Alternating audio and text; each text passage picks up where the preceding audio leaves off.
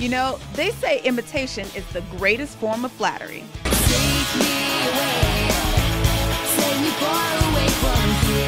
Was Fefe Dobson Rihanna before Rihanna? Initially label mates, Fefe's debut album went platinum in Canada, but in the end, she was dropped by Def Jam while Rihanna picked up a new look. When I got dropped, um, her image changed and it, I guess, resembled mine. And then there were a lot of comparisons.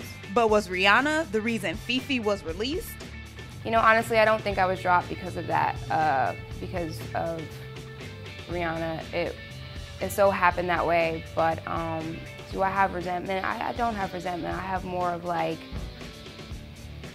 just drives me even more.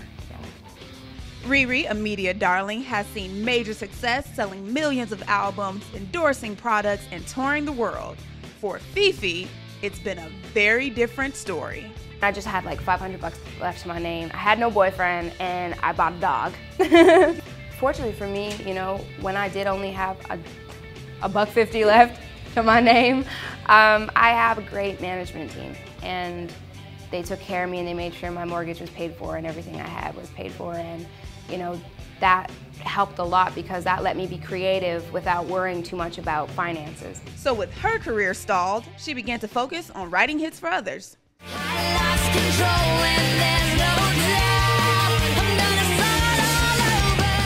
Start All Over, Miley Cyrus and, and Selena Gomez with As a Blonde and stuff, those songs came out and I was like, oh my gosh, you know, because I had I'd written those songs and I was like, oh my gosh, like Fefe, get get get with it. You can do this. And now Fefe has come full circle back where she started with Island Def Jam, the same label as Rihanna. When they had approached the situation of me coming back to Island, um, I, I was nervous. I wasn't, I wasn't angry. I, have worked on my anger.